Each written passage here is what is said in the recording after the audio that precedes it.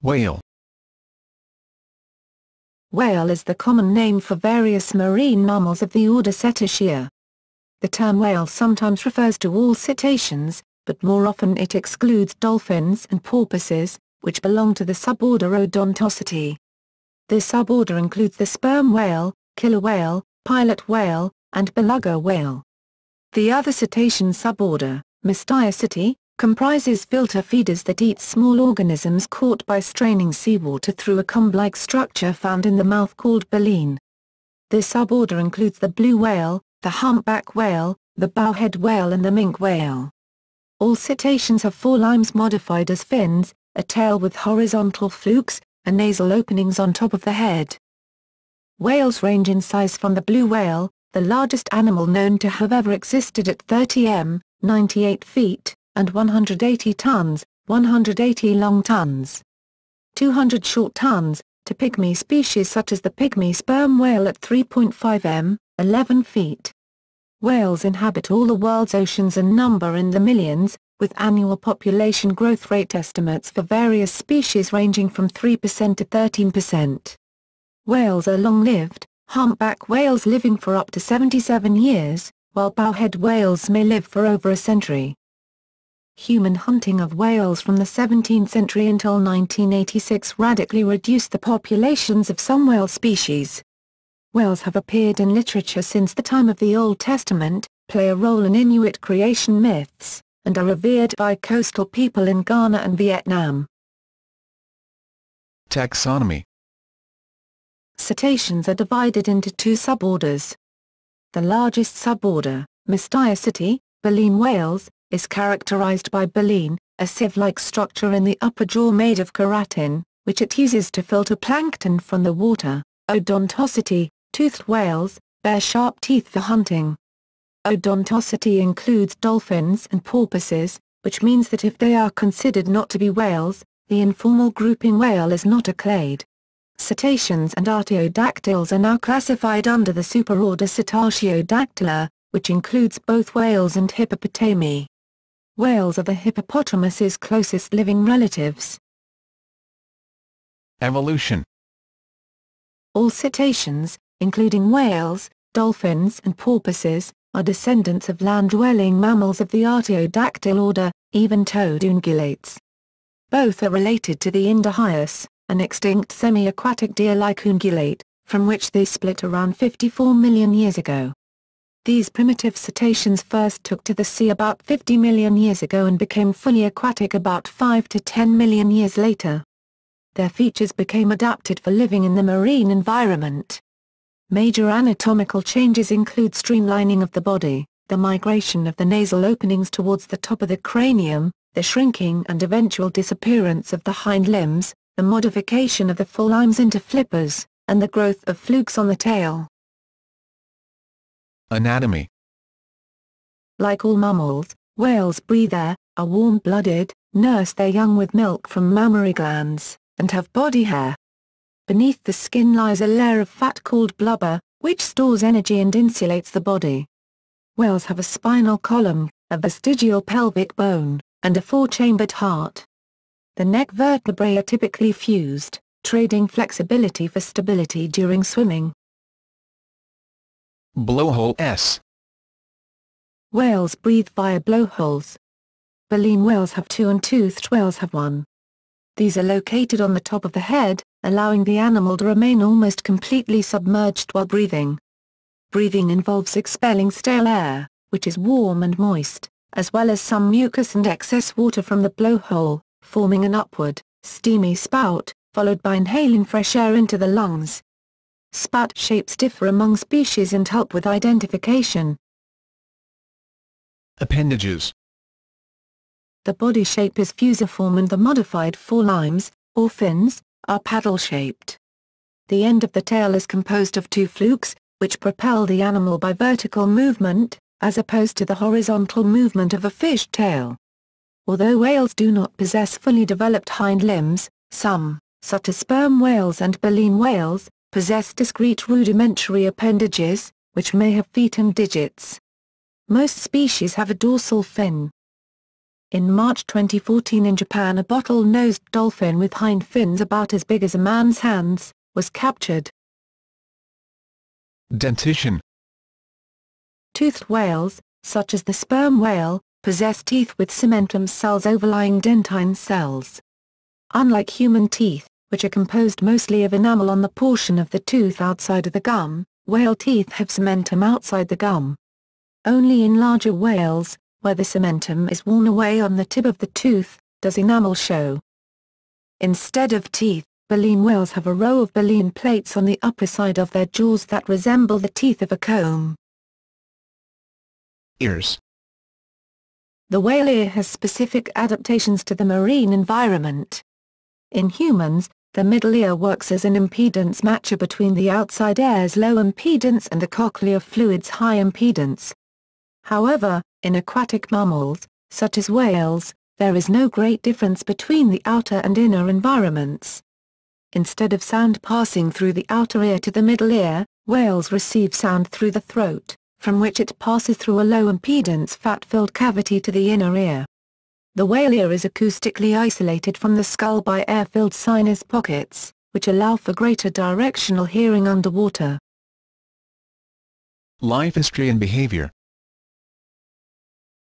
Reproduction Males are called bulls, females, cows and newborns, calves. Most species do not maintain fixed partnerships and females have several mates each season. The female usually delivers a single calf, which is birthed the tail first to minimize the risk of drowning. Whale cows nurse by actively squirting milk into the mouths of their young. This milk is so rich in fat that it has the consistency of toothpaste. In many species, nursing continues for more than a year and is associated with a strong bond between mother and calf. Reproductive maturity typically occurs at 7 to 10 years. This mode of reproduction produces few offspring, but increases the survival probability of each one.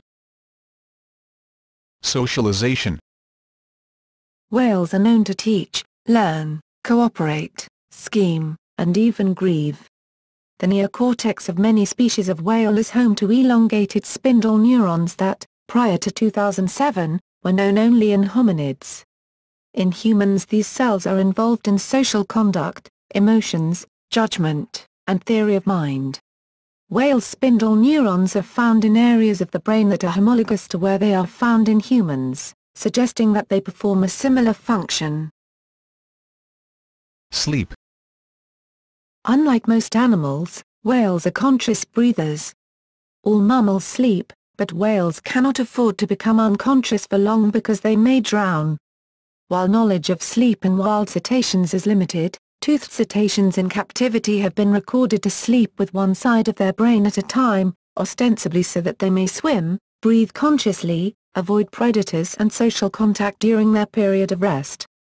It is thought that only one hemisphere of the whale's brain sleeps at a time, so that they rest but are never completely asleep. A 2008 study found that wild sperm whales, Physeter macrocephalus, sleep in vertical postures just under the surface in passive shallow drift dives, generally during the day, during which whales do not respond to passing vessels unless they are in contact, leading to the suggestion that whales possibly sleep during such dives. Surfacing behavior Many whales exhibit behaviors that expose large parts of their bodies to the air, such as breaching and tail slapping. Sounding Sounding is a term used for whales diving.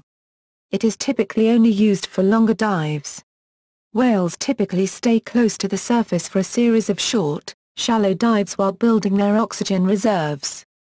They then have a sounding dive. Lifespan Whale lifespans vary among species and are not well characterized. Whaling left few older individuals to observe directly. R. M. Novak of Johns Hopkins University estimated that humpback whales may live as long as 77 years. In 2007, a 19th-century lance fragment was found in a bowhead whale off Alaska, suggesting the individual could be between 115 and 130 years old. Aspartic acid racemization in the whale eye, combined with a harpoon fragment, indicated an age of 211 years for another male, which, if true, would make bowheads the longest-lived extant mammal species. The accuracy of this technique has been questioned because racemization does not correlate well with other dating methods. Vocalization Some species, such as the humpback whale, communicate using melodic sounds, known as whale song. These sounds can be extremely loud, depending on the species. Sperm whales have only been heard making clicks, while toothed whales, Odontoceti, use echolocation that can generate about 20,000 watts of sound, plus 73 dBm or plus 43 dBW, and be heard for many miles. Whale vocalization is likely to serve many purposes, including echolocation, mating, and identification. Captive whales have occasionally been known to mimic human speech. Scientists have suggested this indicates a strong desire on behalf of the whales to communicate with humans, as whales have a very different vocal mechanism, so producing human speech likely takes considerable effort. Ecology Feeding Whales are generally classed as predators, but their food ranges from microscopic plankton to very large animals. Toothed whales eat fish and squid, which they hunt by the use of echolocation. Killer whales sometimes eat other marine mammals, including whales. Baleen whales, such as humpbacks and blues, mainly eat krill when feeding in the higher latitudes, such as the Southern Ocean.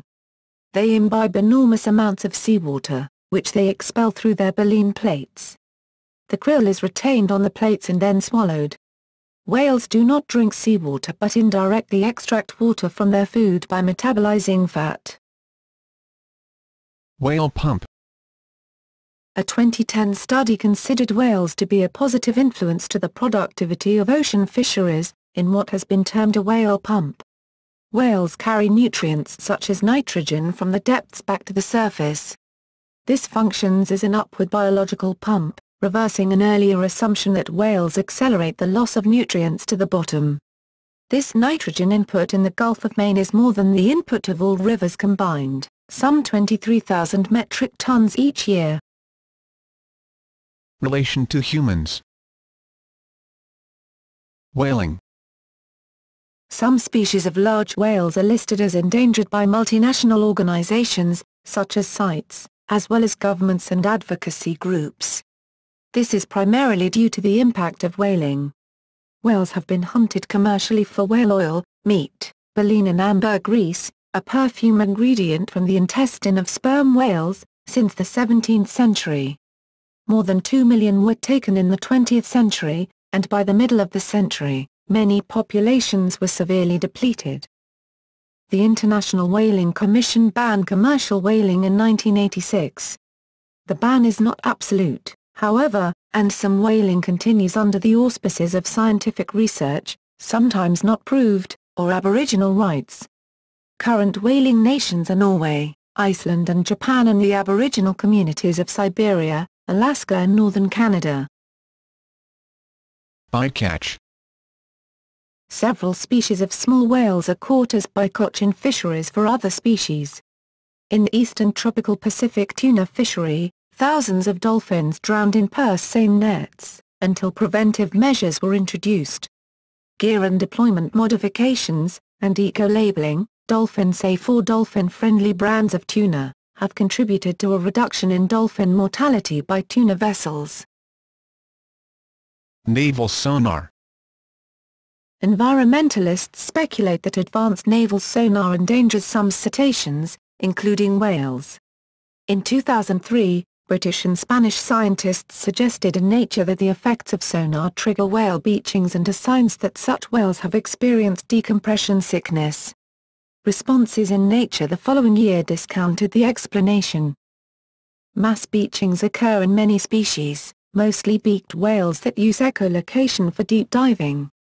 The frequency and size of beachings around the world, recorded over the last 1,000 years in religious tracts and more recently in scientific surveys, have been used to estimate the population of various whale species by assuming that the proportion of the total whale population beaching in any one year is constant.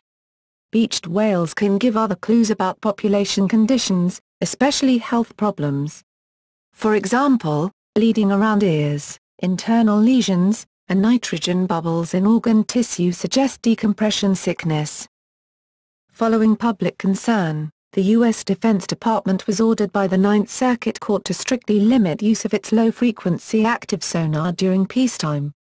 Attempts by the UK-based Whale and Dolphin Conservation Society to obtain a public inquiry into the possible dangers of the Royal Navy's equivalent, the 2087 sonar launched in December 2004, failed as of 2008 the European Parliament has requested that EU members refrain from using the powerful sonar system until an environmental impact study has been carried out. In culture, Whales were little understood for most of human history as they spend up to 90% of their lives underwater, only surfacing briefly to breathe. Many cultures, even those that have hunted them, hold whales in awe and feature them in their mythologies. In China, Yuqiang, a whale with the hands and feet of a man was said to rule the ocean. In the Tyrol region of Austria, it was said that if a sunbeam were to fall on a maiden entering womanhood, she would be carried away in the belly of a whale. Paikea, the youngest and favorite son of the chief Uenuku from the island of Mangaia, in the present-day Cook Islands, was said by the Katikuri people of Kaikoura to have come from the Pacific Islands on the back of a whale many centuries before. The whale features in Inuit creation myths. When Big Raven, a deity in human form, found a stranded whale, he was told by the Great Spirit where to find special mushrooms that would give him the strength to drag the whale back to the sea and thus return order to the world. The Tlingit people of northern Canada said that the orcas were created when the hunter Natsilane carved eight fish from yellow cedar, sang his most powerful spirit song and commanded the fish to leap into the water. In Icelandic legend a man threw a stone at a fin whale and hit the blowhole, causing the whale to burst. The man was told not to go to sea for 20 years, but in the 19th year he went fishing and a whale came and killed him. In East African legend, King Suleimani asked God that he might permit him to feed all the beings on earth. A whale came and ate until there was no corn left and then told Suleimani that he was still hungry and that there were 70,000 more in his tribe. Suleimani then prayed to God for forgiveness and thanked the creature for teaching him a lesson in humility. Some cultures associate divinity with whales, such as among Ghanaians and Vietnamese, who occasionally hold funerals for beached whales, a throwback to Vietnam's ancient sea-based Austroasiatic culture. The Bible mentions whales in Genesis 1:21, Job 7:12, Ezekiel and 32:2. The sea monsters in Lamentations 4:3 have been taken by some commentators to refer to marine mammals, in particular whales, although most modern versions use the word jackals instead. The story of Jonah being swallowed by a big fish is told both in the Quran and in the Bible, in the Book of Jonah, which account is mentioned in Matthew 12:40. The 1851 American novel, Moby Dick by Herman Melville concerns a vexed captain's hunt for a gigantic white whale. Rudyard Kipling's 1902 Just So Stories includes the tale of how the whale got his throat. The film Whale Rider directed by Niki Caro has a Maori girl ride a whale in her quest to be a suitable heir to the chiefship.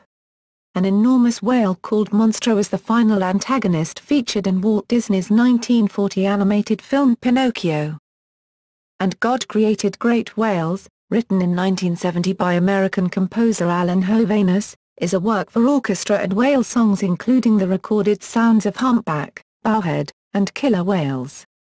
The song Il n'y a plus rien, from French singer-songwriter Léo Ferré's eponymous album, 1973, is an example of your that begins and ends with recorded whale songs mixed with the symphonic orchestra and his voice talking over. Recorded whale song is used in the Missa Gaia Earth Mass by Paul Winter, 1982, which is performed at the Cathedral of St. John the Divine each year to celebrate the feast of St. Francis. The Sanctus and Benedictus portion uses a four-note motif derived from humpback whale song to open and close that segment of the work.